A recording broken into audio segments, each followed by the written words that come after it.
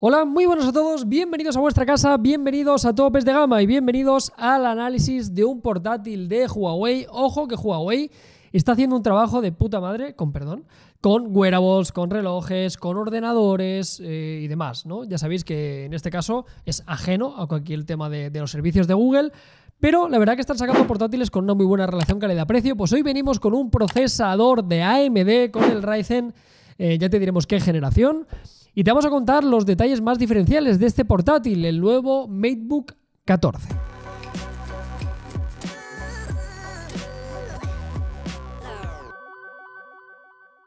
Bueno, pues vamos allá. Vamos a empezar hablando del apartado estético del diseño. La verdad que les ha quedado bastante chulo, bastante similar a las diferentes propuestas que habíamos visto ya del fabricante chino. Lo tenemos un acabado Space Gray Compacto y ligero, únicamente pesa un kilo y medio, 30 eh, centímetros, eh, fabricado en aluminio, muy buena sensación, un diseño muy limpio, únicamente tenemos el logotipo de Huawei, bueno, ni el logo, ¿no? Únicamente pone Huawei en la parte frontal y, y está bastante bien. Detallitos a tener en cuenta del apartado estético de este portátil, tenemos un lector de huellas en el botón de encendido, funciona muy bien. Más cositas, tenemos un doble ventilador para expulsar el aire caliente y refrigerar los, componentes. La verdad que hemos tenido un buen, un buen comportamiento. Ya te adelantamos que no es un portátil pensado para el gaming, ni mucho menos, pero vamos, para las tareas del día a día el, ventilador nos ha hecho un, buen servicio. Tenemos un teclado eh, tipo chicle retroiluminado, en este caso en, un acabado blanco, un teclado que ya nos suena de otras generaciones, un buen recorrido, una buena pulsación, la verdad que nos resulta un, teclado bastante, bastante cómodo, con un, espaciado y, y una separación entre teclas bastante buena. Cositas que tenemos en el teclado, pues entre la tecla F6 y F7 tenemos la camarita. Ya sabéis, una cámara que está escondida por temas de privacidad, lo cual no está nada mal. Cuando la utilizas se ilumina un pequeño LED que te indica que, está grabando, que está siendo utilizada. Y en este caso lo único malo que está en una ubicación eh, inferior y depende de cómo te pongas la videollamada te sale un poco de papada. Yo siempre recomiendo que cuando hagáis una videollamada, y esto no broma, pongáis siempre alguna caja debajo del portátil y levantéis. Cuanto más esté a la altura de vuestros ojos la cámara, mucho mejor, ¿vale? No solemos quedar muy favorecidos cuando la cámara es un contrapicado. Esto es un dato que os regalo. Más cosillas, tenemos un, un bastante generoso y en este caso el trackpad está integrado con Huawei Share. ¿Qué es esto? Pues ya sabéis, si tenéis un Huawei, lo ponéis directamente encima y podéis compartir documentos, podéis compartir imágenes de una forma muy cómoda y mola mucho, ¿eh? Poder utilizarlo, en este caso directamente en el trackpad. No tenemos que hacer como en generaciones anteriores que estaba en un lateral a la derecha, que costaba un poquito. Ahora es mucho más fácil, ¿eh? Ponemos el teléfono y transferimos los datos de una forma cómoda. Y poquito más, no me quiero alargar, tenemos unos marcos de pantalla muy conseguidos, ya hablaremos de la pantalla que nos ha gustado y luego tenemos conexiones físicas típicas. Dos USB 3.2, un USB tipo C, un HDMI, jack de 3.5 eh, y luego tenemos conectividad inalámbrica, evidentemente Wi-Fi y Bluetooth 5.0. Pasemos ya directamente al apartado del hardware. Ya os digo, una de las principales novedades es que tenemos un procesador de AMD. Históricamente siempre teníamos de Intel, pero ya sabéis que los Ryzen están funcionando de maravilla en esta última generación. Pues tenemos el 4800H de 8 núcleos, en este caso con una configuración turbo de hasta 4,2 GHz.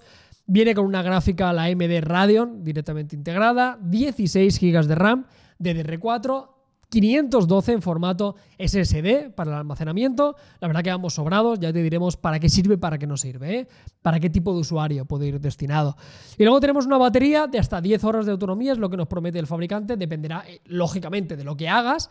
Pero sí que es verdad que hemos podido hacer unas 6-7 horas en un consumo medio, o sea, en un consumo típico de usuario, navegador, algún programa de fimática, un poquito de, edición que hemos hecho, ya os contaremos, pero vamos, igual no son las 10 que nos prometen, que me imagino que serán en un estado óptimo de reproducción de vídeo, por ejemplo, pero la verdad que la, autonomía no, nos ha decepcionado. Y lo que sí que mola es que tenemos un cargador incluido de 65 vatios, ¿eh? en 15 minutos tenemos prácticamente dos horas y media de autonomía, también funciona con dispositivos de Huawei utilizar Supercharge, o sea, el mismo cargador te carga un dispositivo también de, Huawei a la máxima velocidad, así que está guay. Si lo queréis utilizar, una de las ventajas del, tipo C.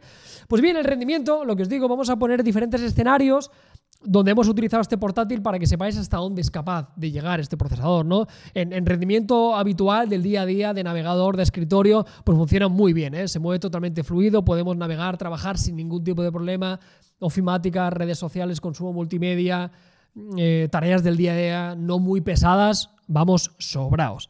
Cosillas, por ejemplo, el Fortnite, una típica prueba que solemos realizar. Bajando la resolución, en este caso a 1080, hemos conseguido jugar a 45 FPS. El Genshin Impact, este juego tan típico de Android que también está para ordenador. En calidad media-baja conseguimos 30-40 FPS estables. Otros juegos, como por ejemplo estilo Alpha 9 y, similares, funcionan a 60 FPS sin ningún tipo de, problema. ¿no? Lo que digo, no es un portátil para jugar, pero si queréis hacerlo en calidad media, vais a poder jugar de una forma estable, unos 40, 60 FPS, dependiendo del juego. Algo de tarea de edición a 1080, 60 frames podréis editar sin demasiados problemas, pero ya os digo, ¿eh? no es un portátil pensado por unas tareas excesivamente potentes. Pero vamos, que la mayoría de usuarios creo que quedaréis satisfechos sobre todo teniendo en cuenta el tipo de portátil que hay. Si quieres una opción mucho más potente, lógicamente este portátil quizá no sería tu alternativa. Hablemos del software, tenemos Windows 10, en este caso tenemos el PC Manager, podemos comprobar el sistema, buscar errores, eh, actualizar los drivers, eh, la gestión de, de, la garantía y demás. Luego tenemos la conexión con el teléfono, podemos controlar el terminal directamente desde el PC o screen mirroring, transferir archivos, copia de seguridad, poder ponernos una segunda pantalla del teléfono, contestar una llamada.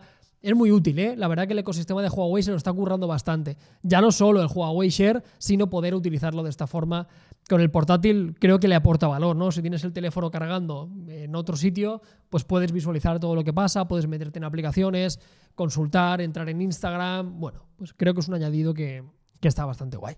Y llegamos a la pantalla, como os decía, es una de las cosas que nos ha gustado. Tenemos una pantalla concretamente de 14 pulgadas, IPS, una resolución de 2160 x 1440.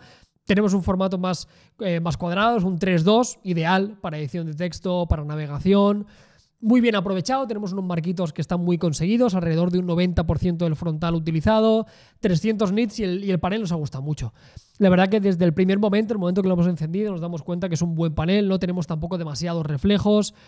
Es un panel, en este caso, que tiene una versión eh, táctil, si queremos, depende de qué configuraciones. Bueno, la verdad que el panel nos ha gustado, ¿eh? ya te digo, no es seguramente el mejor de su segmento, pero tenemos un panel de muchísima calidad. ¿eh? Y otra vez, los marquitos, la experiencia que hemos tenido, la interpretación del propio panel, creo que es bastante, bastante correcta.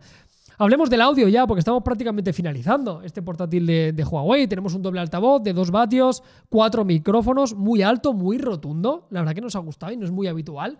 Parece que en el apartado auditivo le han puesto bastante mimo en este MateBook 14 de, Huawei.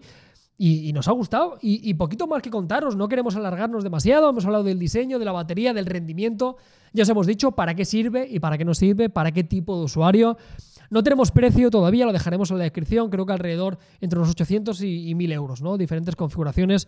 Nos pareció eh, que sería el PVP del producto. Dicho, no está confirmado, os lo diremos eh, en breve, eh, lo más eh, destacable es que aquí debajo en la descripción, cuando tengamos un precio oficial, os lo enseñaremos. Y hago un poco la reflexión que he hecho al principio del, vídeo. Creo que Huawei está haciendo muy buenos productos. tenemos alternativas con Intel, ahora tenemos alternativas con AMD, con estos procesadores Ryzen que funcionan de maravilla. La pantalla nos ha gustado, estéticamente es bonito. Tenemos suficientes conexiones físicas, un hardware suficiente, 512 en formato SSD, que creo que es más que suficiente no hemos tenido problemas de, calentamiento. Un portátil bastante equilibrado. Dentro de Huawei ya sabéis que tenemos alternativas más económicas. Hay algunos portátiles por 600, 500 y pico euros en promoción de vez en cuando, pero esto sí que nos ofrece un poquito más. Así que nada chicos, eh, aquí tenéis toda la información. Estos son un poco los aspectos más claves que debéis conocer del nuevo Huawei MateBook 14. Nos vemos muy pronto aquí en Topes de Gama. Adiós.